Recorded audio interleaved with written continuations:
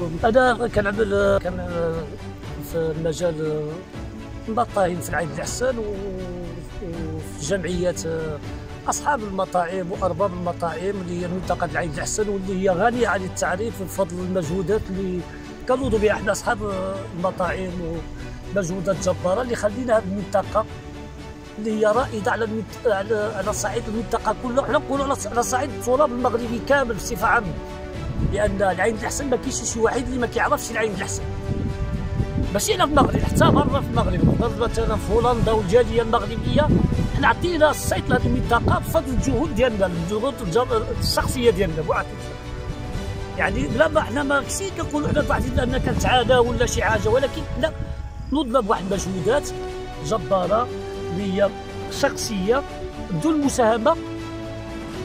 لا نقولوا حنا لا الجماعه ولا الولايه ولكن حنا رغم هيداك حنا مستمرين في هذا الشيء هذا ومستمرين في هذا هذا باش تبقى المنطقة ديالنا جميله والآن كينزلوا المنطقة ديالنا رجعت لأن كيجيونا الناس الداخل كامل وفي فتره استراحه وكيجيو الجالية المغربية والجالية و وعندنا كان وفي فترة جائحة كورونا إحنا كنعانيو كنعانيو مع هذه الجائحة اللي أثرت على المقاولات ديالنا أثرت على المقاولات ديالنا و وكنحاولوا هيداك وكان كنعملوا مجهودات اللي اللي خصنا باش نوضوا بها ونوضوا بهذيك ونخليو الديمومه والحركة العادية للتسير وهذيك وكنوهوا بهذه المناسبة كنوهوا بالسلطة المحلية في هذه المنطقة اللي كتواصل معنا دائما كتكون معنا وبينات في هذه الجائحة.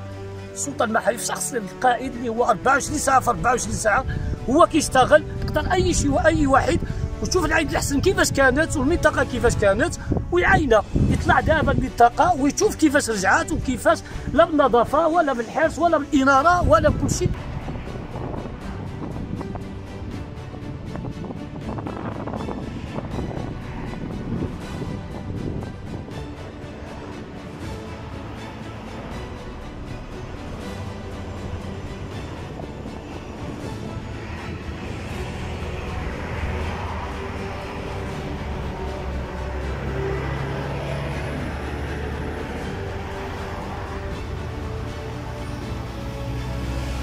نستخدم عن الحسن قطع الإفران الذي يتواجد في الحسن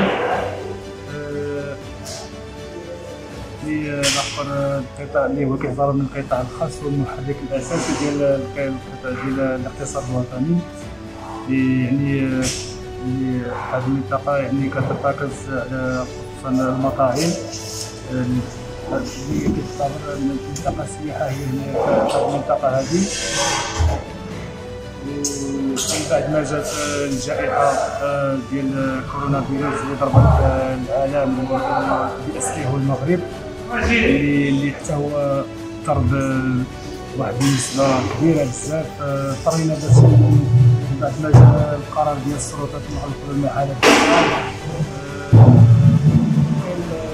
كثرت بزاف الارباب ديال المقاهي ونسبه بالنسبة للعمال نسبه كبيرة ديال لأن المنطقة هازه تقريبا نسبة كبيرة ديال الشغالين ديال الارباب ديال الأسر يعني ملي جات هذه الجائحة أثرت شوية علينا تاثرت بنسبة كبيرة. كما قلت لك زعما السنة القضية كتجينا قبل هاد كورونا. ولكن هاد كورونا عطينا كنعرف بزاف ديال العوامل وقعات مطاعم كل شيء شاد العمال مشاو مساكن جلسوا ما كاين هادي ما كاين هادي راه ثلاث شهور زيادة. ودابا حاليا ملي رجعنا هادي واحد اليومين امور شوية ماشي زعما تنتم الأمور تبقى نعسه وواحد العامل يعني واحد الجانب سلبي يعني الترونسبورت ما كاينش. الطويصات ما تلقوهمش التاكسي كيقول لك 10 دراهم لأن علاش؟ حتى هما عاملين 30 البلايص. أحسن لا ولا ليلهم ولا لنا. باش باش نمشي نكيطلب من هنا ب 20 درهم وطلع ب 20 درهم راه صعيب الحال وباقي ما كاين والو. طب والله الله هذا الجهاد جهه تطوان إن شاء الله تكون تكون على ترونسبورت واحد الإنسان يقدر يتحرك. والطويس 5 دراهم ماشي هي الطاكسي ب 1000 فرنك وبعد ساعه كيقول لك 15 درهم. طب والله الله يرفع علينا البوابة وصافي هادشي اللي كاين ورجع الأمور إلى نصيبها ويتفتحوا المطاعم كل شيء ويخدم الإنسان تروج الحركة وهذه وهذه. نطلب والله من هذه وزارة السياحه عاوتاني المساعين اطلاق هذا الناس الخارج يدخلوا لنا هو اللي كيدروجوا الحركة.